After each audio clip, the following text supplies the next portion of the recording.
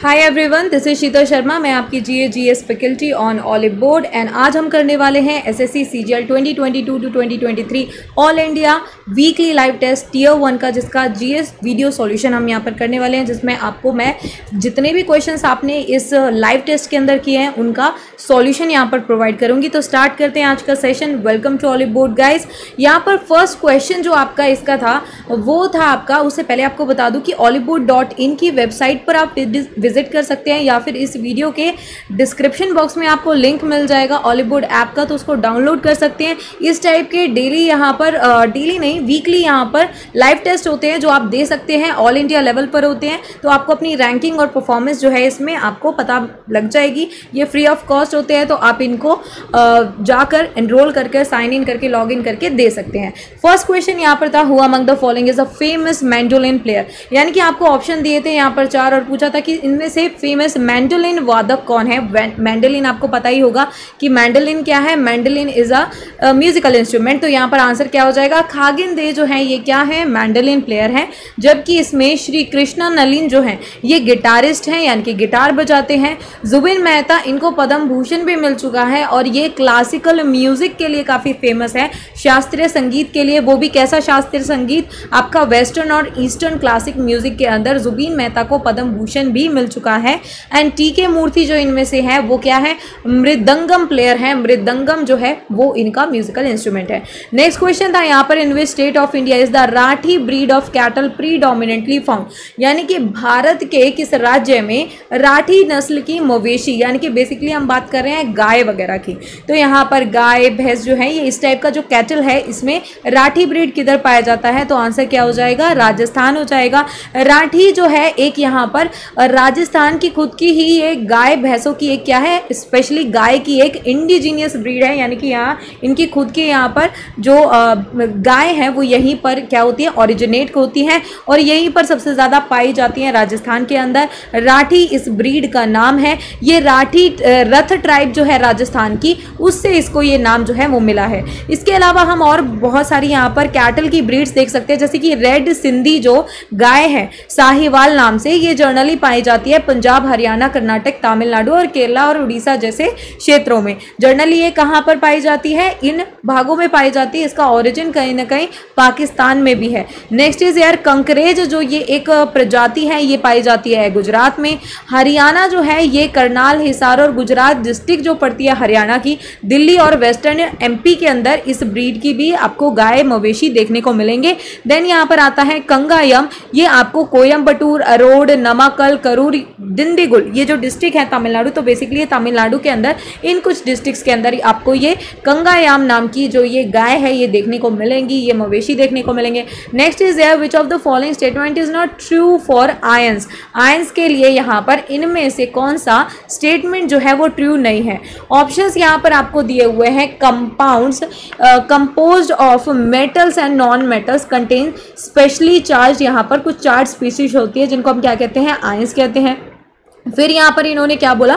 फिर इन्होंने बोला कि ये आयन जो है, ये कंसिस्ट कर सकते हैं सिंगल चार्ज एटम और a group of atom that have a net charge on them third यहाँ पर बोला negatively charge ion is called cation and positively charge ion is is called anion तो यहाँ पर आंसर करेक्ट क्या हो जाएगा? क्योंकि आपसे ये पूछा है कि इसमें से गलत कौन सा होगा तो गलत हो जाएगा आपका थर्ड वाला। क्यों गलत हो जाएगा? क्योंकि इसने उल्टा यहाँ पर लिखा हुआ है। नेगेटिवली चार्ज आयन को बोलते हैं एनियन और पॉजिटिव पॉजिटिवली चार्ज को बोलते हैं कैटियन तो इसने क्या किया था? उल्टा कर दिया था। बाकी ये जो पहले यहाँ पर तीन थे, ये तीनों के तीनों क्या थे? सही थे। कि जितने भी कंपाउंड्स होते हैं मेटल और नॉन मेटल से बने हुए, उनके अंदर कुछ एक चार्ज स्पीशीज होती है, एक चार्ज आइटम्स होते हैं, जिनको नेगेटिवली चार्ज आयंस को हम बोलते हैं एनियन और पॉजिटिवली चार्ज को बोलते हैं कैचियन एंड इसके अलावा जो चार्ज स्पीसीज होते हैं, उनको आयंस कहा जाता है। ठीक है? यानी कि जो भी इन मेटल और नॉन मेटल के अंदर प्रेजेंट होते हैं। ये सिंगल चार्ज भी हो सकते हैं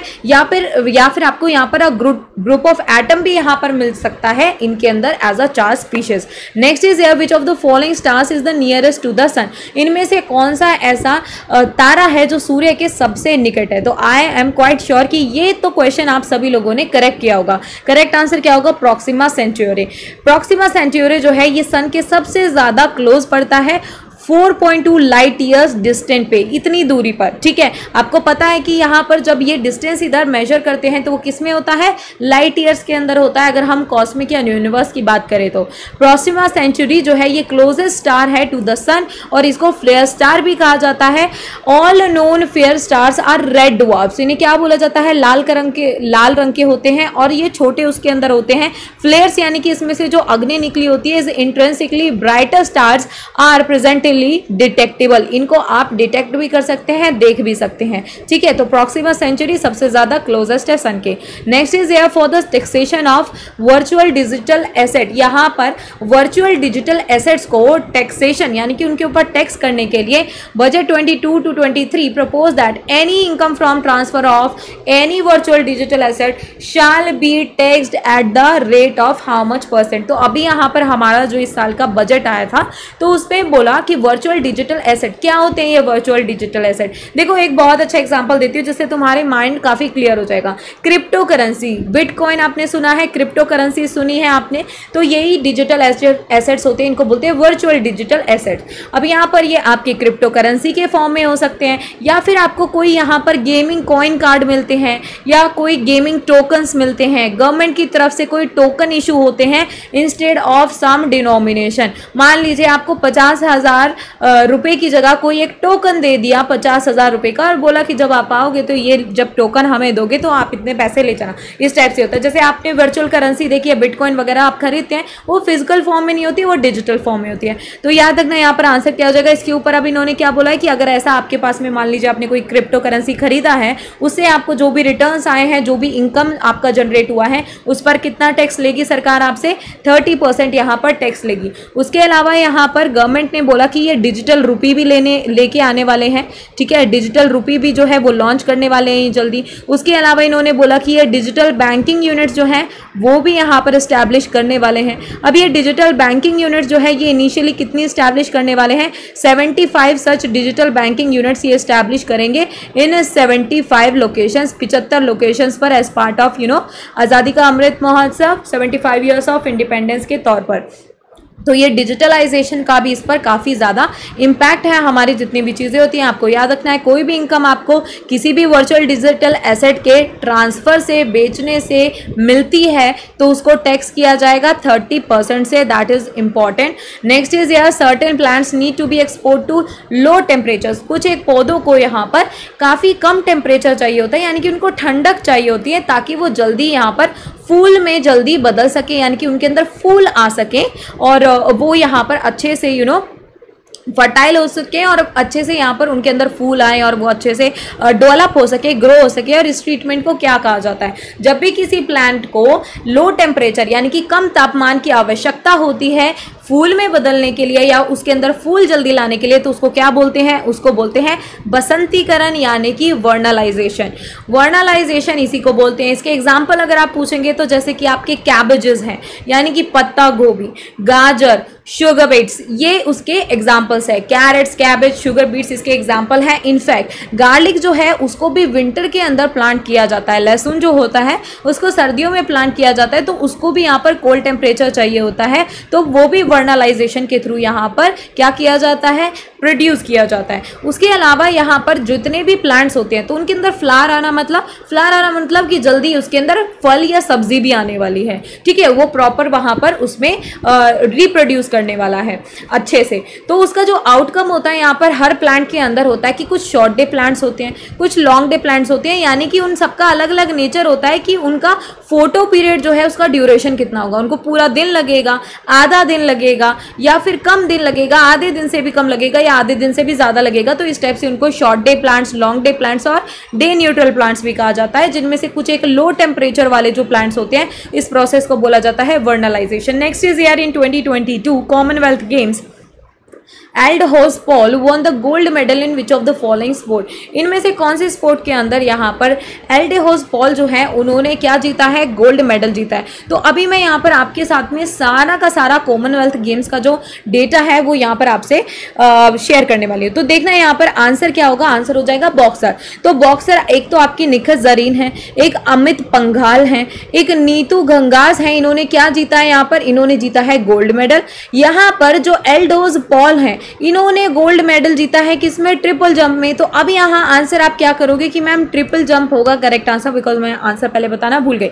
तो यहाँ पर अगर आपसे पूछेगा, निखित जरीन ने किसमें गोल्ड मेडल जीता मैम उसने बॉक्सिंग में जीता है, अमित पंगाल ने बॉक्सिंग में एंड नीतू गंगास जो है, उन्होंने भी बॉक्सिंग में गोल्ड मेडल जीता है। वहीं पर एक और गोल्ड मेडल आया एल्डोहॉस पॉल लेके आए, लेकिन किसमें? ट्रिपल जंप के अंदर।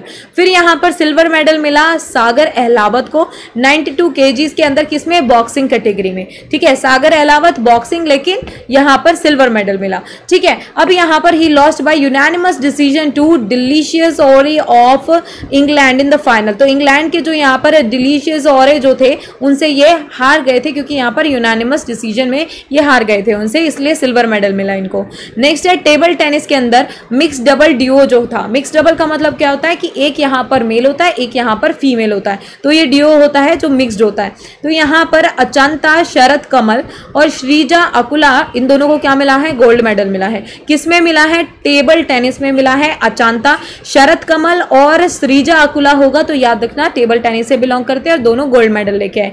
नेक्स्ट है यहाँ पर कॉमनवेल्थ के अंदर, जो हमारी पैरा टेबल टेनिस प्लेयर है, Bhavina Patel. Para table tennis मतलब कि जो आपके विकलांग श्रेणी में या पर्सन विद डिसेबिलिटीज के अंदर जो प्लेयर होते हैं तो ये है तो टेबल टेनिस प्लेयर लेकिन विद डिसेबिलिटी तो इसलिए इनको पैरा एथलीट यानी कि पैरा टेबल टेनिस प्लेयर बोला जाता है। ऑल्सो वो ना gold medal in women single class three five इसके अलावा एक और हमारे पैरा टेनिस प्लेयर, यहाँ पर टेबल टेनिस प्लेयर थे, सोनल बेन, मंगू भाई पटेल, इन्हें क्या मिलता है? ब्रॉन्ज मिलता है। तो सोनल बेन को ब्रॉन्ज मिला, भाविना पटेल को क्या मिला? गोल्ड मेडल मिला। किसके अंदर? टेबल टेनिस के अंदर, ठीक है? तो टेबल टेनिस में ही दो हमारे मेडल आ गए, gold medal Bhavina and bronze medal Sonal ben. फिर यहाँ पर क्या हुआ? फिर यहाँ पर आपका जो इंडिया की हॉकी टीम है, इन्होंने यहाँ पर किसको हराया? न्यूजीलैंड को हराया टू वन से, और क्या जीता? ब्रॉन्ज मेडल जीता यहाँ पर। तो ये काफ़ी टाइम बाद इंडिया की वुमेन टीम जो है, ये कोई मेडल यहाँ पर जीती है इंटरनेशनल इवेंट में। फिर यहाँ पर बैडमिंटन के अंदर इंडिया की वुमेन्स डबल डिओ था। कौन सा? ट्रीसा जॉली। ट्रीसा जॉली, बैडमिंटन। गायत्री, गोपीचंद, बैडमिंटन। दोनों ने मिलकर क्या जीता है? ब्रॉन्ज मेडल जीता है। किसमें विमेंस डबल में। तो ट्रीसा जोली एंड गायत्री, गोपीचंद, ये आपको याद रखना है। उसके अलावा इन्होंने हराया किसको? ऑस्ट्रेलिया की वेंडी यूसेन और ग्रोना सोमर विले जो है, इनको हराया। इंडिया के यहाँ पर बैडमिंटन प्लेयर, आपको पता ही होगा, के श्रीकांत किदाम्बी श्रीकांत। इन्होंने क्या जीता है? तो इन्होंने भी ब्रॉन्ज मेडल जीता। इनसे ज़्यादा बड़े मेडल की उम्मीद थी, पर ये ब्रॉन्ज मेडल ही ला पाए। फिर यहाँ यहाँ पर इंडिया की दीपिका पलिकल जो है और साथ में सौरभ घोषाल जो है, इन्होंने क्या जीता? इन्होंने ब्रॉन्ज मेडल जीता। किसमें मिक्स डबल्स में और स्क्वाश प्लेयर हैं। ये दोनों के दोनों एस प्लेयर्स हैं स्क्वाश के अंदर। मेंस में सबसे ऊपर सौरभ घोषाल है इंडिया के अंदर और दीपिका विमेंस के अंदर स्क्वाश के अंदर है। ठीक है, उसके अलावा यहाँ पर इन्होंने जिनको हराया, उसका नाम भी दिया हुआ है डोना एंड कैमरोन। फिर यहाँ पर रवि धैया, हमारे जो रेसलर रवि धैया हैं, इन्होंने ओलंपिक्स के अंदर भी सिल्वर मेडल जीता हुआ है। विनेश फोगाट एंड नवीन जो है, इन्होंने गोल्ड मेडल जीता कॉमनवेल्थ गेम्स के अंदर। तो रेसलर्स में Ravi Dahiya Vinesh Phogat and Naveen. All three have won gold medal फिर वेमेन के अंदर यहाँ पर क्रिकेट की बात करें तो ऑस्ट्रेलिया ने यहाँ पर इंडिया को बीट किया by nine run to win gold medal in the women's cricket team India की क्रिकेट टीम को यहाँ से किस पे संतुष्टि करनी पड़ी? सिल्वर मेडल में क्योंकि ऑस्ट्रेलिया ने यहाँ पर हरा दिया और ऑस्ट्रेलिया जीत गया गोल्ड मेडल नेक्स्ट यहाँ पर है during the reign of which Mughal emperor was the fifth Sikh guru known as Guru Arjun Dev executed यहाँ पर किसके शासन काल में आ, मुगल सम्राट जो इधर हुआ करता था उस वक्त पर आ, उसने गुरु अर्जन देव को जो कि सिखों के पाँचवें गुरु थे उसको फांसी दे दी थी। आंसर क्या हो जाएगा? आंसर हो जाएगा जहांगीर के टाइम पर। तो हमारे जो फिफ्थ सिख गुरु थे अर्जुन देव गुरु अर्जुन देव उनको मुगल शासक जो था उस वक्त पर जहांगीर उसने यहाँ पर इसलिए पकड़ लिया था अरेस्ट कर लिया था क्योंकि वो खुसराऊ जो इनका सबसे बड़ा बेटा था जहांगीर का उसको सपोर्ट कर रहे थे।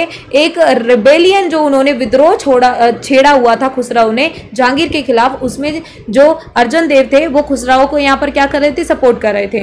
फिर यहाँ पर इसने क्या किया? इसने गुरु अर्जन देव को अरेस्ट कर लिया और यहाँ पर आ, क्या किया? उनको बोला कि इस्लाम में कन्वर्ट हो जाओ। तो उन्होंने मना कर दिया कि मैं कन्वर्ट नहीं होऊँगा इस्लाम धर्म में धर्म परिवर्तन नहीं करूँगा इस्लाम धर्म नहीं अपनाऊँगा। तो इसके लिए उनको टॉर्चर किया गया और उनको फांसी दे गई दे दी गई सोलह 1806 में। इसके अलावा एक और बार ऐसा हुआ था जब हमारे जो सिख गुरु थे नाइन्थ सिख गुरु नाम क्या है उनका? गुरु तेग बहादुर जी जो हैं, गुरु तेग बहादुर जी जो हैं, उनको भी एक मुगल शासक के दरबार में फांसी दी गई थी। तो गुरु तेग बहादुर जी जो हैं इनको एग्जीक्यूट किसके कोर्ट में किया गया, किस मुगल शासक के दरबार में किया गया तो याद रखना औरंगज़ेब के दरबार में इनको क्या दिया गया था? फांसी दी गई थी एग्जीक्यूट किया गया था, जो कि हमारे नाइन्थ सिख गुरु थे। नेक्स्ट इज़ ईयर और आपको पता है टोटल सिख गुरु कितने हैं? टेन सिख गुरुज हैं। सबसे आखिरी सिख गुरु कौन से थे? Guru Gobind Singh. Next is here increase in which of the following implies increase in production of goods and services ये कह रहा है कि इनमें से अगर किसके अंदर इंक्रीज आने का मतलब होता है कि एक्चुअल में गुड्स और सर्विसेज़ का जो वस्तु और सेवाएँ हैं, उनका उत्पादन बढ़ा है। ठीक है? तो अब आपसे पूछ रहा है nominal GNP real GDP actual GNP या फिर पर कैपिटा इनकम देखो जीडीपी क्या होता है? आंसर यहाँ पर हो जाएगा रियल जीडीपी मैं बताती हूँ क्यों हो जाएगा। जीडीपी का मतलब होता है कि जितना भी एक साल के अंदर, किसी भी एक साल के अंदर, आपके देश के अंदर टोटल उत्पादन, कुल उत्पादन वस्तु और सेवाओं का कितना हुआ है? तो उसकी जो आखिरी कीमत होती है, उसको क्या कहते हैं? जीडीपी कहा जाता है। यानी कि हमने जितना भी उत्पादन हुआ है, उसको जीडीपी बोलेंगे। उस उत्पादन की कीमत क्या है? वो कितने मूल्य का है? अब जीडीपी जो है, यहाँ पर दो तरीके की होती है। एक होती है नॉमिनल नॉमिनल जीडीपी क्या है? जहाँ पर आप उसको करंट प्राइजेस यानी कि आज के प्राइजेस पर उसको कैलकुलेट करते हैं कि आज मेरा उत्पादन इतना हुआ, मैंने इतने वस्तु और सेवाओं का उत्पादन किया है और उन सब सेवाओं की और वस्तुओं की एक्चुअल में प्राइस यानी कि मूल्य ये है, उस हिसाब से टोटल जो वैल्यू आई, वो मनी के अंदर आज के प्राइजेस आज के दाम के हिसाब से आपने कैलकुलेट किया। लेकिन रियल जीडीपी क्या होता है? जहाँ पर आप प्राइस इंक्रीज जो हो रहा है, उसको एडजस्ट कर लेते हैं। यानी कि आप पिछले किसी एक बेस ईयर के हिसाब से जीडीपी को कैलकुलेट कर रहे हैं। तो उसमें एक्चुअल पता लगता है कि एक्चुअल में जो आपका वैल्यू इंक्रीज हुआ है, वो वस्तुओं के उत्पादन की वजह से इंक्रीज हुआ है या फिर उनके मूल्य बढ़ने की वजह से कीमत में इजाफा हुआ है। ठीक है, अब मैं बोलूँ कि ये पेन जो है, ये पेन मैंने दो पेन यहाँ पर उत्पादन किया है दो पेनों का। तो मैंने बोला दो पेन और दोनों पेन कितने रुपए के? एक पेन बीस रुपए का है, दूसरा पेन भी बीस रुपए का है तो चालीस रुपए का मैंने बोला मेरा जीडीपी है। लेकिन, वो मैंने निकाला आज की डेट पर। लेकिन अगर मैं यहाँ पर प्राइस एडजस्ट कर दूँ, मैंने बोला यहाँ पर चालीस रुपए का मेरा जीडीपी बढ़ा है। पिछले साल जब मैंने किया था तो मैंने दो ही पेन का उत्पादन तब भी किया था, लेकिन वो उत्पादन उस वक्त पर पेन की कीमत क्या थी? दस रुपए थी। तो मैंने द, बोला दस रुपए एक का और दस रुपए एक का। यानी कि टोटल जीडीपी मैंने बोली बीस रुपए। और आज भी मैंने दो ही पेन का उत्पादन किया है लेकिन कीमत इनकी बढ़ने से जीडीपी मेरी आ रही है चालीस रुपए। तो ये तो नहीं कह सकते ना कि हमने उत्पादन ज़्यादा किया है क्योंकि प्राइजेस की वजह से वो थे तो दो ही पेन लेकिन उस वक्त पर बीस रुपए के थे आज चालीस के हैं। तो जीडीपी बढ़ा किसकी वजह से बढ़ा? प्राइस बढ़ने की वजह से बढ़ा उत्पादन बढ़ने की वजह से नहीं बढ़ा। क्योंकि ये क्या था? नॉमिनल जीडीपी था। लेकिन जब मैं इसको प्राइस से डिवाइड कर दूँ प्राइस एडजस्ट कर दूँ, महँगाई एडजस्ट कर दूँ तो मुझे पता चलेगा कि एक्चुअल में इंक्रीज हुआ ही नहीं, क्योंकि वो सिर्फ़ प्राइस इंक्रीज हुआ था। तो इसके लिए नापने के लिए जब इंक्रीज इन रियल जीडीपी होता है, वो बताता है कि एक्चुअल में आपका production of goods and services increase हुआ है कि नहीं हुआ है और ये किस पर निकाला जाता है? ये कॉन्स्टेंट प्राइजेस यानी कि पिछले साल के प्राइजेस पे निकाला जाता है। तो अब जैसे मैंने आपसे कहा कि दो पेन का मैंने लिया तो मैं पिछले साल का प्राइस लेके चलूँगी या पिछले एक दो साल का। जब दस रुपए का प्राइस था तो मुझे पता चलेगा कि आज ये दो पेन जो है, उस प्राइस पे निकाले तो भी बीस रुपए जीडीपी आई और उस वक्त भी जीडीपी बीस रुपए थी। तो मैं कहूँगी कि कोई भी इंक्रीज नहीं हुआ है, ठीक है? और अगर उसके बावजूद मैंने तीन पेन यहाँ प्रोड्यूस किए हैं, उस वक्त पर बीस जीडीपी थी और उस वक्त के प्राइस पर लगाऊँ तो तीन पेन तीस रुपए के हुए तो मैं कहूँगी कि हाँ रियल जी क्या हुआ है मेरा? वो बड़ा है, इसकी वजह से क्या हुआ है? Production of goods and services मुझे पता चला कि वो भी बढ़ा है। Next is here, Shrija Akula, who participated in 2022 Commonwealth Games, is associated with which of the following? अभी बात हुई थी श्रीजी अकुला के बारे में और शरद कमल के बारे में। ये दोनों कौन से खेल से रिलेटेड थे? आंसर क्या हो जाएगा? मैम आंसर हो जाएगा टेबल टेनिस से ये रिलेटेड थे। शरद कमल और श्रीजा अकुला जो है, इन्होंने कॉमनवेल्थ गेम्स में मिक्सड टेबल टेनिस में गोल्ड मेडल जीता ब्रमिंग के ब्रमिंगम के अंदर, जो यहाँ पर ये हुआ था। ये आपको याद रखना है। इंडिया की मेन्स टीम जिसके अंदर शरद जी सत दतिया और हरमीत देसाई के साथ साथ सनील शेट्टी जो थे, इन्होंने गोल्ड मेडल जीता है सिंगापुर को हरा के। अगर हम टेबल टेनिस टीम की बात करें तो कौन सा मेडल जीता है टेबल टेनिस में? Gold medal. Next is here who among the following has become the first Indian psychologist to have been marked on the heritage wall of fame of the society for personality and social psychology in US US के अंदर यहाँ पर पहले ऐसे Indian psychologist कौन बने हैं, जिन्होंने यहाँ पर क्या जीता है? मनोवैज्ञानिक। साइकोलॉजिस्ट मतलब भारतीय मनोवैज्ञानिक, जिन्होंने यहाँ पर संयुक्त राज्य अमेरिका में society for personality and social psychology में heritage of heritage wall of fame में अपना नाम दर्ज कराया है। तो आंसर यहाँ पर क्या हो जाएगा? तो याद रखना रामधर सिंह। तो यहाँ पर रामधर सिंह जो है, इनका बहुत सारा यू नो कॉन्ट्रीब्यूशन रहा है, क्योंकि ये यूनिवर्सिटी प्रोफेसर रहे हैं Amrut Modi school of management of Ahmedabad university के अंदर। तो इनको इसमें इंक्लूड किया गया है। ये इकलौते इकलौते ऐसे सामाजिक मनोवैज्ञानिक हैं, जिन्हें इस टाइप का ये सम्मान जो है दिया गया। इनकी ये जो सम्मान है, ये सबसे पहली बार 1974 में यूएसए के अंदर वॉशिंगटन डीसी में दिया जाने लगा। ये विश्व का सबसे बड़ी ऑर्गेनाइजेशन सबसे बड़ी संस्था है, सबसे बड़ा संगठन है जो यहाँ पर मनोवैज्ञानिकों को क्या देता है, इस टाइप का सम्मान देता है। यहाँ पर रामधर सिंह जो है, ये मेंबर ऑफ़ सोसाइटी रह चुके हैं 1990 में और 1992 में इसके फेलोशिप भी इनको मिल चुका है। Next is here who was the leader of Bharatiya Lok Dal ये एक पॉलिटिकल पार्टी है इंडिया के अंदर, जो यहाँ पर 1947 में सात पार्टी के फ्यूजन से जो यहाँ पर अपोज कर रही थी इंदिरा गांधी को। आंसर क्या हो जाएगा? इसके लीडर कौन थे? भारतीय लोक दल के? तो आंसर हो जाएगा मैम चौधरी चरण सिंह जो थे, इसके क्या थे? लीडर थे। तो चौधरी चरण सिंह यहाँ पर आपकी इस पार्टी के लीडर रहे। 1977 में जो आपकी ये पार्टी थी भारतीय लोक दल ये कंबाइन हो गई जनसंघ और इंडियन नेशनल कांग्रेस के साथ और इन्होंने क्या नाम लिया? इस पार्टी ने एक नया नाम लिया, जनता पार्टी का नाम। ये नई जो जनता पार्टी थी, इसने 1977 का इलेक्शन लड़ा। यहाँ पर आपकी भारतीय लोकदल के सिंबल पर और ये बनी पहली ऐसी भारत की सरकार जो इंडियन नेशनल कांग्रेस के द्वारा रूल नहीं की जा रही थी। यानी कि यहाँ पर जो पीएम बने थे 1978 के अंदर, वो थे Morarji Desai.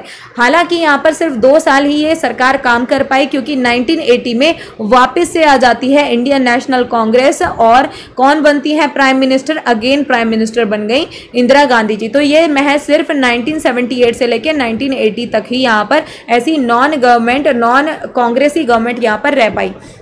Next is here which of the following statement is correct with reference to mission Indradhanush इनमें से कौन सी स्टेटमेंट करेक्ट है? पहला बोला मिशन इंद्रधनुष जो है, इसने यहाँ पर एक टारगेट रखा कि 90 परसेंट इम्यूनाइजेशन कवर यानी कि इन्होंने बोला 90 प्रतिशत टीकाकरण जो कवर है। कवर मतलब कि सभी लोगों का टीकाकरण करेंगे। ये इन्होंने बोला कौन से ईयर तक? ट्वेंटी फिफ्टी तक। ये पहले ही चीज़ गलत हो जाएगी, क्योंकि ये इन्होंने टारगेट रखा था दो हज़ार बीस तक। फिर मिशन इंद्रधनुष जो है, ये बोला जा रहा है कि इसके टारगेट पॉपुलेशन में पाँच साल के बच्चे हैं। तो पहले याद रखना, मिशन इंद्रधनुष जो है, ये 2005 में लॉन्च नहीं हुआ था। 2014 में 2014 में लॉन्च हुआ था। 2020 तक इन्होंने टारगेट रखा कि ये 90 प्रतिशत जितने भी दो साल तक के up to two years of age के जितने भी बच्चे हैं एंड साथ में प्रेग्नेंट वुमेन है। यानी कि प्रेगनेंसी के टाइम से उनको क्या दिया जाएगा? प्रेग्नेंट वुमेन को टीके दिए जाएँगे और उसके बाद जब उनके बच्चे हो जाएँगे तो उनको दो साल तक टीकाकरण किया जाएगा। इस वैक्सीनेशन के अंदर, यहाँ पर किस टाइप के इस मिशन के अंदर वैक्सीन दी जाएँगी? तो diphtheria polio whooping cough measles tetanus meningitis pneumonia और हेपाटाइटिस बी के क्या लगेंगे? टीके लगेंगे। तो इकलौता ये चीज़ सही है कि इसके अंदर सिर्फ़ ये सारी वैक्सीन दी जाएँगी होगी बाकी मैंने आपको बता दिया कि 2014 में ये लॉन्च हुआ था यहाँ पर और इसका एम था 90 परसेंट इम्यूनाइजेशन 2020 तक। टारगेट पॉपुलेशन था दो साल तक के बच्चे और गर्भवती महिलाएँ। नेक्स्ट यहाँ पर है, भारत की कौन सी मीनार दूसरी सबसे ऊँची मीनार है इंडिया के अंदर? तो आंसर क्या होगा? तुम्हें पता है कि भारत की टॉलेस्ट मीनार कौन सी है? कुतुब मीनार। उसके बाद में दूसरी नंबर पे कौन सी होगी? वो होगी आपकी चाँद मीनार। चाँद मीनार जो है, इसको बोला जाता है विक्ट्री यानी कि जीत की मीनार मीनार भी इसे कहा जाता है। तो चाँद मीनार जो है, ये सेकेंड टॉलेस्ट मीनार है इंडिया की आफ्टर दिल्ली का कुतुब मीनार, जो कि 1435 में इसको बिल्ड किया किसने? अलाउद्दीन बहमानी ने। और ये किस लिए यहाँ पर किया था? क्योंकि उसको दौलताबाद महल जो है फोर्ट जो है महाराष्ट्र के अंदर, उधर उसको वहाँ पर डिप्लॉय किया गया था। वहाँ पर उसको शासित किया गया था। तो अलाउद्दीन बहमानी जो है, उसने किसको बनाया? चाँद मीनार को बनाया। आपको पता है कुतुब मीनार किसने बनाया? जो आपका यहाँ पर कुतुबुद्दीन ऐबक था। जो स्लेव डायनेस्टी गुलाम वंश का शासक था और जिसको कहे, जिसको फाउंडर था, संस्थापक था, उसने बनाया था कंप्लीट कराया था इल्तुतमिश ने। नेक्स्ट यहाँ पर आया था height of the tower is thirty metres two hundred and ten feet seventy feet in girth at the base ठीक है? सेवेंटी फीट नीचे बेस का ही इसका है। इसमें चौबीस चैम्बर हैं और चार इसके क्या है? फ्लोर्स हैं, यानी कि चार इसके अंदर अलग अलग मंजिलें हैं और एक यहाँ पर छोटा सा मॉस्क, यानी कि मस्जिद भी है। नेक्स्ट है आपका the fall in the sea surface temperature in the central and western Pacific Ocean below average is known as जब भी यहाँ पर सरफेस सी सरफेस जो है, जो आपका क्या होता है? समुद्र की सतह में तापमान के अंदर औसत से कम गिरावट आने को क्या कहते हैं? तो आंसर क्या हो जाएगा? मैम, आंसर हो जाएगा, इसको बोलते हैं ला, नीना। ला नीना जो है, ये क्या, कब होता है? जब आपका पैसिफिक ओशन है, प्रशांत महासागर है। वहाँ पर आपको क्या देखने को मिलता है? स्ट्रॉन्ग यहाँ पर जो विंड्स होती हैं, वो इस रीजन की तरफ़ से साउथ ईस्ट की तरफ़ से यहाँ पर हवाएँ जो हैं, वो यहाँ पर हवाएँ तेज़ी से बढ़ती हुई आती हैं और यहाँ पर जो गर्म पानी है, उसको वेस्ट की तरफ़ से ले जाती हैं। तो साउथ ईस्ट की तरफ़ से आके साउथ ईस्ट यानी कि इस तरफ़ से आके ये क्या करती हैं, इसको वेस्ट की तरफ़ यहाँ पर ले जाती हैं। ठीक है? और यहाँ पर क्या होता है, जिसकी वजह से सी सरफेस का जो टेम्परेचर है, उसके अंदर गिरावट आती है, यानी कि जो उस समुद्र की सतह है, वो थोड़ी ठंडी होने लग जाती है। कौन सी साइड में? सेंट्रल और वेस्टर्न पैसिफिक ओशन यानी कि इस तरफ़ और यहाँ तक, वेस्ट तक पहुँचते पहुँचते ये हवाएँ कैसी हो जाती है? ठंडी होने लग जाती हैं। एल नैनी, नीनो जो है, ये क्या होता है? ये एक ऐसा क्लाइमेट पैटर्न है, जहाँ पर आपका सरफेस वाटर जो है, वो क्या होने लग जाता है? गर्म होने लग जाता है। और वो भी बहुत ही अनयूजुअल तरीके से गर्म होने लग जाता है। किस तरफ़? ये ईस्ट की तरफ़ यहाँ पर क्या होने लग जाता है? गर्म होने लग जाता है। तो एलनीनो किसको कहते हैं? गर्म फ़ेज़ को वार्म फ़ेज़ को बोला जाता है, जो एक बड़े फिनोमेना का बोला जाता है यहाँ पर। El Nino Southern Oscillation E N S O तो एल नीनो एक वार्म फ़ेज़ है और जो ला नीना है, वो क्या है? एक टेम्परेचर में फॉल यानी कि कोल्ड फ़ेज़ है। Next is air Eastern Ghat passes through which of the following states in India Eastern Ghat कौन सी स्टेट्स के थ्रू निकलता है? तो आपका पूर्वी घाट किधर आता है? जो आपके पूर्वी एरिया है। पूर्वी एरिया कौन से है? जैसे कि उड़ीसा है, आंध्र प्रदेश है और तमिलनाडु है। तो आंसर क्या हो जाएगा? All of the above correct answer हो जाएगा। वेस्टर्न घाट पड़ता है वेस्ट की तरफ़ में। ठीक है? एंड स्पेशली जो आपका साउथ वेस्ट यहाँ पर होता है, उस तरफ़ पड़ता है। ईस्टर्न घाट जो है, ये आपका कहाँ से शुरू होता है? ये वेस्ट बंगाल उड़ीसा आंध्र प्रदेश से होता होता तमिलनाडु तक पहुँचता है और कुछ एक पार्ट ये कर्नाटक का भी यहाँ पर कवर कर लेता है। ये सारा जो आपको दिख रहा है, इसको क्या बोलते हैं? इसको बोलते हैं पूर्वी घाट यानी कि ईस्टर्न घाट फिर आप बात आती है कि यहाँ पर ईस्टर्न कोस्ट साइड जो है, ये आपकी बंगाल की खाड़ी की तरफ़ पड़ती है, उसके तटीय क्षेत्र के अराउंड और यहाँ पर ये जो होता है, ये बहुत कम स्टीप होता है। स्टीप मतलब कि बिल्कुल ऐसा खड़ा हुआ। ये ऐसा स्टीप नहीं होता है। ये थोड़ा सा यहाँ पर घुमावदार और मुड़ा हुआ होता है और इसका जो स्टीपनेस है, इसकी जो तीखापन है, वो भी कम होता है।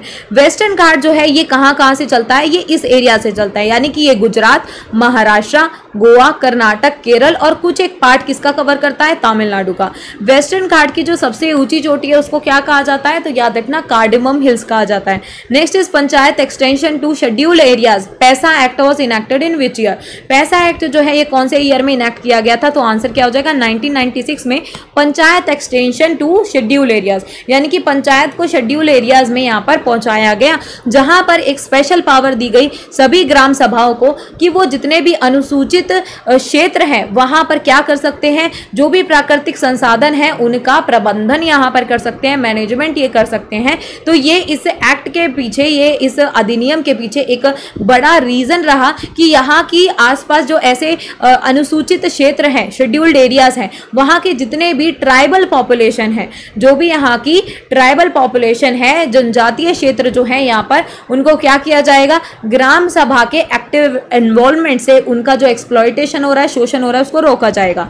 नेक्स्ट इज़ यार fish has head and tail smaller than the middle portion of the body यानी कि जिस भी मछली का जो सर और जो टेल है, यानी कि जो उसकी पूंछ है, वो उसका मिडल पोर्शन से क्या होता है? छोटा होता है। यानी कि ये बहुत छोटा है, ये काफ़ी बड़ा है। और ये काफ़ी छोटी है, यानी कि मुँह इसका काफ़ी बड़ा है, ठीक है? और इसकी टेल काफ़ी छोटी है तो ऐसी फ़िश को यहाँ पर क्या बोला जाता है, ठीक है? और इसकी बॉडी क्या होती है? Tapers at both the end. यहाँ पर दोनों तरफ़ से ये कैसी रहती है? इस मछली के शरीर के आकार को क्या कहा जाता है? जब मछली का सिर और पूछ शरीर के मध्य भाग से छोटा होता है और शरीर दोनों सिरों पर पतला होता है, यानी कि इधर से भी काफ़ी पतला है और इधर से भी काफ़ी पतला है दोनों सिरों से। तो क्या बोलता है, इसको बोला जाता है स्ट्रीमलाइन यानी कि जब भी इस टाइप का कोई बॉडी स्ट्रक्चर होगा, उसको क्या बोलते हैं स्ट्रीमलाइन बोलते हैं। ये शेप जो होती है, इसलिए होती है ताकि पानी जो है, आसानी से उसके ऊपर तक चला जाए और उसके मुँह को कवर ना करे और वो पीछे की तरफ़ से फ़िश को यहाँ पर आगे बढ़ने के लिए पानी के अंदर अलाउ करता है। Next is year 19 1175 who invaded Multan and occupied the whole of Sindh इनमें से ग्यारह सौ पिचहत्तर में किस किसने मुल्तान पर आक्रमण किया और पूरे सिंध पर कब्जा कर लिया? जब ग्यारह सौ पिचहत्तर की बात आती है तो यहाँ पर सीधा सीधा आंसर हो जाता है। मैम आंसर हो जाएगा मोहम्मद गोरी।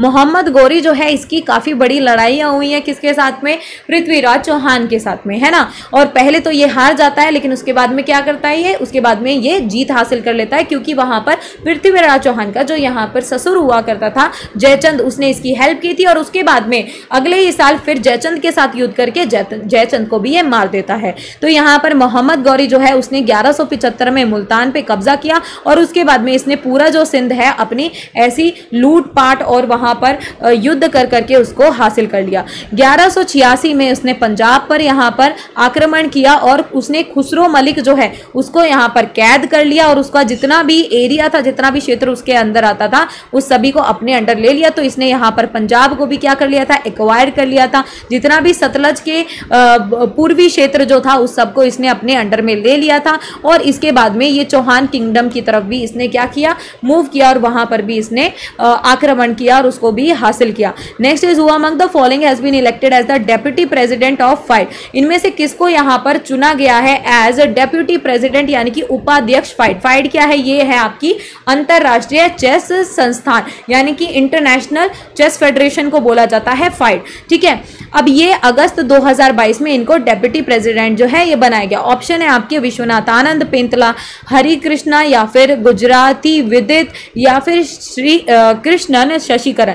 आंसर हो जाएगा विश्वनाथन आनंद, जो हमारे यहाँ के पहले ग्रैंड मास्टर रहे हैं. उसी के अलावा ये पहले राजीव गांधी खेल रत्न अवार्ड के प्राप्तकर्ता भी रहे 1991 के अंदर। खेल रत्न, राजीव गांधी खेल रत्न अवार्ड जो है वो भारत का सबसे बड़ा खेल सम्मान है। ठीक है? जिसको अभी, जिसका नाम बदलकर क्या किया गया है? जिसका नाम बदलकर रखा जा रहा है, मेजर ध्यानचंद अवार्ड। तो यहाँ पर ग्रैंड मास्टर भी रह चुके हैं, ये इंडिया के ग्रैंड मास्टर हैं और पाँच बार वर्ल्ड चैंपियन रहे। विश्वनाथन आनंद को यहाँ पर डेप्यूटी प्रेसिडेंट बना दिया है फाइड का, यानी कि इंटरनेशनल चेस फेडरेशन का।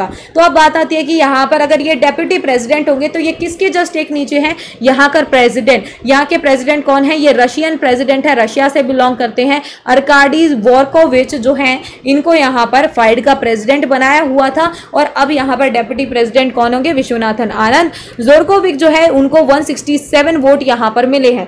अरकाडी जोरकोविक जो है, ये पहले से ही यहाँ पर फाइड प्रेसिडेंट थे और दोबारा से इनको इलेक्ट कर लिया गया है। इनके फेवर में 167 वोट्स डले जबकि इनके अपोनेंट जो थे एंद्री बैरिस पोलेट्स इनको सिर्फ़ 16 वोट मिले। तो इसलिए अरकाडी जोरकोविक जो है, यहाँ पर ये अपॉइंट हुए। आपको पता है, अभी फोर्टी चेस ओलंपियाड हुआ जो पिछले वीक हमने यहाँ पर वीकली टेस्ट किया था।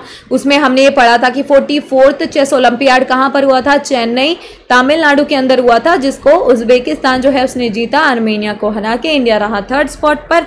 और यहाँ पर इसका जो एंथम था, इसका म्यूज़िक एंथम था, वनक्कम चेन्नई, ये किसने लिखा है? तो ये म्यूज़िक वीडियो लॉन्च किया है ए आर रहमान ने। और फोर्टी चेस ओलंपियाड के अंदर टॉर्च रिले चलाया जो था, वो इवेंट लॉन्च किया था अरकाडी वोरकोविक ने। किसके साथ में मिलकर प्राइम मिनिस्टर नरेंद्र मोदी के साथ मिलकर और नरेंद्र मोदी ने वो जो टॉर्च रिले जो स्टार्ट करवाया, वो टॉर्च किसको थमाया? विश्वनाथन आनंद को। उसके बाद में वो सेवेंटी फाइव ऐसी लोकेशंस पर वो टॉर्च गई है और ये शुरू कब हुआ? ये अट्ठाईस जुलाई से लेकर दस अगस्त तक ये आपका जो इवेंट है, ये चला है चेन्नई तमिलनाडु में, मल्लापुरम जगह में। उसके अलावा आप याद रख सकते हैं कि हर एक स्टेट का जो ग्रैंड मास्टर था, उस टॉर्च को लेके यहाँ पर घूमा है। इस टाइप का पहला टॉर्च रिले जो चलाया गया, वो चेस फेडरेशन ने चला चलाया है। अदरवाइज़ ये जो प्रथा है, ये सिर्फ़ आपके ओलंपिक्स के अंदर फॉलो होती है। पहली बार ये चेस के अंदर ये टॉर्च रिले चलाने वाली प्रथा फॉलो की गई। वॉरकोविक जो है, इसको सबसे पहली बार फाइड का प्रेसिडेंट अपॉइंट किया गया था अक्टूबर 2018 में और अब दोबारा से अपॉइंट हुआ है सेकेंड टर्म के लिए 2022 में। इसने किसको उस वक्त पर रिप्लेस किया था सक्सीड किया था? किसान को रिप्लेस किया था। Next is year how many members constitute the monetary policy committee in India कितने मेंबर्स होते हैं मॉनिटरी पॉलिसी कमेटी इंडिया की? मौद्रिक नीति समिति के अंदर तो आंसर क्या हो जाएगा? चार छः आठ या दस करेक्ट आंसर हो जाएगा। मैम, इसमें टोटल होते हैं सिक्स मेंबर। ठीक है? इस सिक्स मेंबर्स के अंदर आपका एक तो होता है गवर्नर ऑफ़ आरबीआई, एक होता है यहाँ पर डेप्यूटी गवर्नर ऑफ़ आरबीआई, जो अपॉइंट होता है, जिसको इंचार्ज बनाया जाता है ऑफ़ मॉनेटरी पॉलिसी कमेटी का। ठीक है? अब यहाँ पर under the section 45 Z of the amended RBI act of 1934 यानी कि आरबीआई एक्ट 1934 फोर को अमेंड किया गया, यानी कि इसके अंदर बदलाव किया गया। फाइनेंस एक्ट यानी कि वित्त अधिनियम जो आया था 2016 का। तो सबसे पहली बार एमपीसी जो आती है मॉनेटरी पॉलिसी कमेटी लाई जाती है 2016 में। अप्रैल 2016 में इसको लाया जाता है। आरबीआई एक्ट 1934 को अमेंड करके, इसके अंदर बदलाव करके। और बदलाव क्या किया जाता है कि इसको सेक्शन 45 जेड बी जो है, उसके अंदर किसको इंक्लूड कर देते हैं कि सेक्शन 45 जेड बी किसके बारे में बताएगा? वो बताएगा आपको मॉनेटरी पॉलिसी कमेटी के बारे में। मौद्रिक नीति समिति के बारे में ये आपको बताएगा, जहाँ पर सेंट्रल गवर्नमेंट, यानी कि केंद्र सरकार जो है, उसके पास में यहाँ पर कुछ शक्तियाँ दी हुई हैं कि वो यहाँ पर छह सदस्य की मॉनेटरी पॉलिसी कमेटी का फॉर्मेशन कर सक, कर सकता है। और मॉनेटरी पॉलिटी पॉलिसी कमेटी जो है, वो क्या करेगी? वो यहाँ पर पॉलिसी इंटरेस्ट रेट जो है, उसको निर्धारित करेगी, जो यहाँ पर इन्फ्लेशन टारगेट को अचीव करने के लिए मान्य होना चाहिए। यानी कि जो मुद्रास्फीति की जो दर है, उसको कंट्रोल में रखने के लिए, उसको मेंटेन करके रखने के लिए, संभालने के लिए, जितने भी यहाँ पर ब्याज दर हैं, जो भी पॉलिसी रेट्स हैं, उनको कौन डिटर्मिन करेगा, उनका निर्धारण कौन करेगा? मॉनेटरी पॉलिसी कमेटी इस टाइप की पहली मॉनेटरी पॉलिसी कमेटी जो है, वो कब बनाई गई थी? 29 सितंबर 2016 को बनाई थी। ये मॉनेटरी पॉलिटी कमेटी जो है, ये एटलीस्ट कितनी बार एक साल के अंदर मिलेगी? तो at least four times a year ठीक है? एक ईयर के अंदर ये चार बार एक बार चार बार ज़रूर मिलेगी। यानी कि हर तीन महीने के बाद में मॉनेटरी पॉलिसी कमेटी का गठन होगा ही होगा, उसके ऊपर बैठक होगी। अभी जून के अंदर जो हुई थी वो 190 फाइव नाइन्टी फिफ्थ यहाँ पर मॉनेटरी पॉलिसी कमेटी थी। और उसके बाद में अगस्त के अंदर वापस से यहाँ पर एक और मीटिंग की जाती है इसके रिगार्डिंग मॉनेटरी पॉलिसी कमेटी जो है आरबीआई की, अभी यहाँ पर इन्फ्लेशन रेट छः परसेंट से ज़्यादा बढ़ता हुआ यहाँ पर चल रहा है। और आरबीआई जो है वो सिर्फ़ छः परसेंट तक टॉलरेशन लिमिट होती है इन्फ्लेशन यानी कि मुद्रास्फीति की। अगर छः प्रतिशत से ऊपर जाएगा तो आरबीआई को इमिजिएटली बहुत सारे डिसीजंस लेने पड़ेंगे और उसको कंट्रोल करना पड़ेगा विद इमीडिएट इफ़ेक्ट तो यहाँ पर अभी पॉलिसी रेट को बढ़ाया गया है 40 बेसिस पॉइंट से एंड यहाँ पर अभी 50 बेसिस पॉइंट से रिसेंटली इसको बढ़ाया गया और 5.40 परसेंट जो है वो अभी फ़िलहाल में रेपो रेट जो है वो कितना कर दिया गया है? रेपो रेट कर दिया है four five point four zero percent repo rate क्या होता है? ये एक वो ब्याज दर है जिस पर जितने भी बैंक हैं वो आरबीआई भारतीय रिज़र्व बैंक से उधार ले सकते हैं आ, सरकारी प्रतिभूतियाँ यानी कि गवर्नमेंट सिक्योरिटी के अगेंस्ट पर कि वो आएँगे रीपर्चेज एग्रीमेंट के थ्रू लिक्विड एडजस्टमेंट फैसिलिटी के थ्रू एलएएफ के थ्रू ये ओवरनाइट बेसिस पर एक रात के अंदर अंदर मतलब बहुत ही शॉर्टली अगर इनको फंड की ज़रूरत है इनको पैसा चाहिए तो आरबीआई से ले सकते हैं। अपनी जो गवर्नमेंट सिक्योरिटी गवर्नमेंट की जो सरकारी प्रतिभूतियाँ होती हैं, क्या होती है गवर्नमेंट सिक्योरिटीज जो जहाँ पर लिखा होता है कि सरकार एक मेचोरिटी डेट पर इस पर्सन को, जिसके पास भी वो सिक्योरिटी है, उसको कुछ एक निश्चित अमाउंट जो है, उसके अंदर जो लिखा हुआ है सिक्योरिटी के अंदर जो अमाउंट लिखा हुआ है, उसको मेचोरिटी डेट पर पे करेगी। तो ऐसी सिक्योरिटीज आरबीआई के पास में गिरवी रखते हैं और बदले में पैसा लेते हैं और जब आरबीआई को चुकाने जाते हैं तो यहाँ पर क्या लेके आते हैं? वापस ले आते हैं अपनी सिक्योरिटीज लेकिन जितने टाइम में वो उस लोन को लेके रखते हैं तो उस पर कितना परसेंट ब्याज देते हैं? 5.40 ठीक है?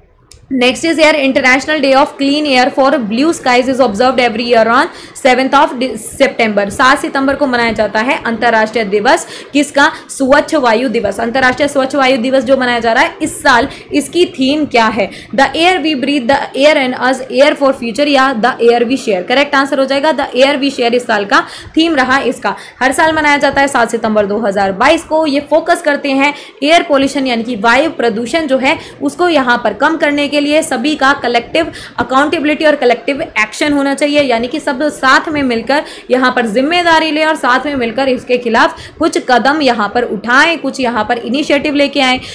26 नवंबर 2019 में जो सेवेंटी सेशन लगा था यूनाइटेड नेशन संयुक्त राष्ट्र का, उसकी दूसरी कमेटी जो है, उसमें इसके रिगार्डिंग रेजोल्यूशन पास हुआ था, जिसमें यह बोला गया कि इस टाइप का एक दिन जो है वो मनाना चाहिए।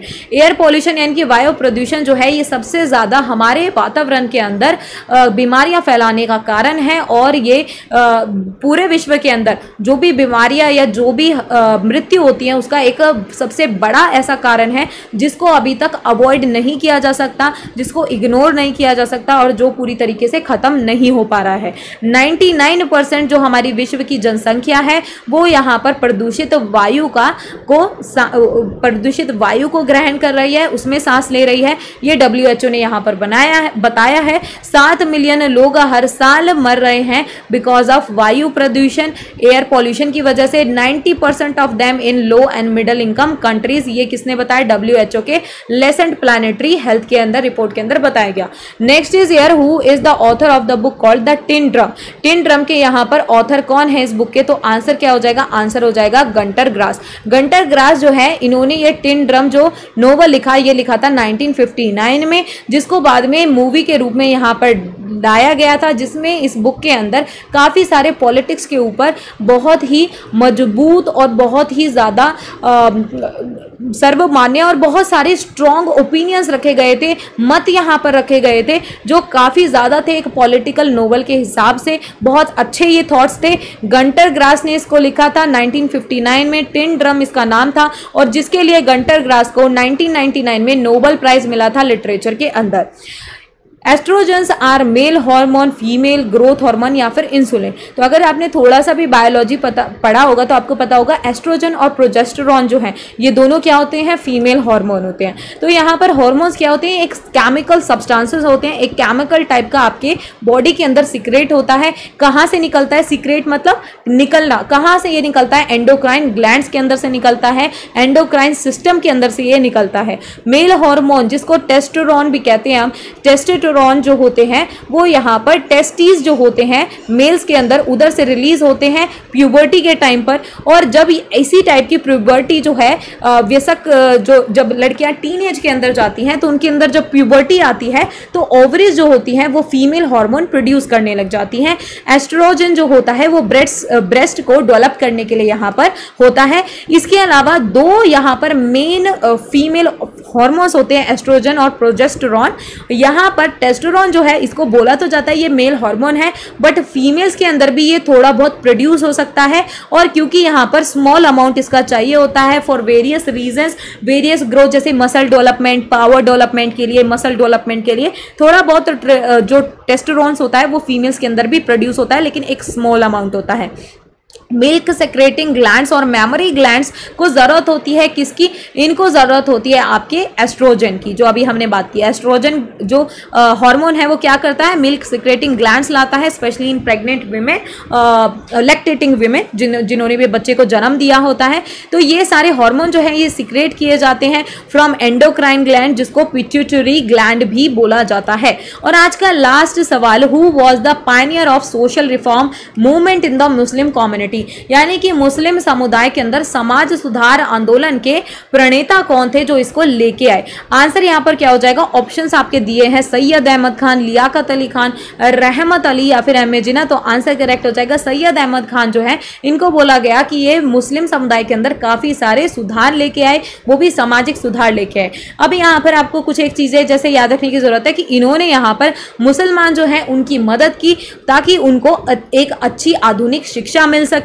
और यहाँ पर इन्होंने ब्रिटिशर्स जो हैं, उनको इस टाइप से मोल्ड किया कि ब्रिटिशर्स मुसलमान कम्युनिटी की तरफ़ यहाँ पर उनकी सिंपति जो है, उनकी तरफ़ से सपोर्ट जो है, वो जनरेट किया। इन्होंने Mohammedan Anglo Oriental College known as MAO college in Aligarh, उसका फॉर्मेशन किया 1875 में, जो आगे जाके 1920 में जिसको नाम मिला अलीगढ़ मुस्लिम यूनिवर्सिटी का। इनको साइंटिफिक सोसाइटी का फाउंडर भी कहा जाता है, जहाँ पर इन्होंने मुसलमानों के अंदर क्या लेके आई ये साइंटिफिक टेम्परामेंट यानी कि उनके अंदर वैज्ञानिक सोच लेके आने वाले थे ये आने वाले बोले जाते हैं। इन्होंने मुस्लिम समुदाय के अंदर, अपनी ही भाषा के अंदर, जितने भी मुस्लिम समुदाय के लोग थे भारत के अंदर, उनको आधुनिक और स्पेशली जो वेस्टर्न नॉलेज है, उसको यहाँ पर जैसे कि इंग्लिश नॉलेज है, उसको काफ़ी प्रमोट किया। इनका अलीगढ़ मूवमेंट जो है, उसने मुस्लिम समुदाय को यहाँ पर प्रेरित किया मोटिवेट किया, ताकि वो अपने खुद के शैक्षिक संस्थान जो हैं, वो खोल सके। उसके अलावा ये इस टाइप का पहला कुछ ऐसा मूवमेंट था जो लाया गया था जिसने मुस्लिम समुदाय और जितना भी हमारे देश के अंदर सामाजिक और राजनीतिक जो सहनशीलता थी या मैं कहूँ जो सेंसिबिलिटी थी उसको इन्वेक किया उसको जगाया। ठीक है तो आंसर हो जाएगा सैयद अहमद खान। तो सो अब आज हमने यहाँ पर 25 क्वेश्चंस कर लिए हैं दैट्स एट तो आज जितने भी आपके आ, लाइव टेस्ट के अंदर मॉक लाइव टेस्ट के अंदर, जितने भी क्वेश्चन आप लोगों ने अगर ये दिया था, कल और परसों, ये हर सैटरडे संडे को होता है तो आप भी ऑलिव बोर्ड की साइट या ऑलिव बोर्ड की ऐप पर जाकर इस मॉक टेस्ट को दे सकते हैं। और इसके अलावा अगर आप F C I A G three के डेपो या जर्नल के लिए तैयारी कर रहे हैं तो आप मेरा पेड बैच ले सकते हैं। शीतल कोड यूज़ करके आपको मैक्सिमम डिस्काउंट जो है ऑलिव बोर्ड पर मिल जाएगा। इसके अलावा मेरा एसएससी फाउंडेशन बैच भी है, बायलिंगुअल मोड में है, जैसे मैंने आज आपको ये क्वेश्चन कराए हैं, उसी हिसाब से मैं वहाँ पर भी आपको थ्योरी प्लस क्वेश्चन कराऊँगी। तो ये बैच आप ज्वाइन कर सकते हैं। अगेन शीतल कोड लगाना, यहाँ पर आपको मैक्सिमम ऑफ़ मिल जाएगा। इस टाइप के अगर आप बहुत सारे मॉक टेस्ट देने चाहते हैं, क्योंकि मॉक टेस्ट का अगर आपको लगता है कि मैम बहुत अच्छे क्वेश्चन पूछ रखे हैं, एकदम रेलिवेंट रेलिवेंट है तो ये मॉक टेस्ट के लिए आप एसएससी लाइट भी ले सकते हैं इलीट भी ले सकते हैं और एसएससी सुपर इलीट भी परचेज कर सकते हैं। यहाँ पर सुपर इलीट के अंदर आपको एसएससी के जितने भी एग्ज़ाम्स हैं, उनके सारे कोर्सेज प्लस मॉक्स मिल जाएँगे। और जो एसएससी इलीट है इसके अंदर, आपको एसएससी के जितने भी एग्ज़ाम्स होते हैं एसएससी के, उन सारे एग्ज़ाम के मॉक टेस्ट आपको मिल जाएँगे। ठीक है, अभी आपको पता है कि एसएससी ने काफ़ी सारे चेंजेस लाए हैं अपने पूरे शेड्यूल के अंदर। अब जी जो है जीएस सेक्शन काफ़ी ज़्यादा यहाँ पर प्रोमिनेंट कर दिया है। और जीएस सेक्शन यहाँ ये अब एसएससी मेंस में भी ले आए हैं फॉर सीजीएल तो अब आप लोगों को यहाँ पर प्रिपेयर जीएस को काफ़ी अच्छे से करना पड़ेगा। तो उसके लिए आप ऑली बोर्ड के साथ में जुड़ सकते हैं, मेरे साथ में जुड़ सकते हैं। Thank you for watching every अगर सेशन पसंद आया तो लाइक कीजिएगा शेयर कीजिएगा। चैनल को सब्सक्राइब कर सकते हैं। जब भी इस टाइप का मेरा video GA solution GA video solution आएगा तो आपको पता लग जाएगा। कमेंट करके बता सकते हैं क्लास कैसी लगी। अदरवाइज़ बेल आइकन को दबा दीजिए। आपको नोटिफिकेशन जो है यहाँ पर मिल जाएगी। Thank you so much everyone bye and take care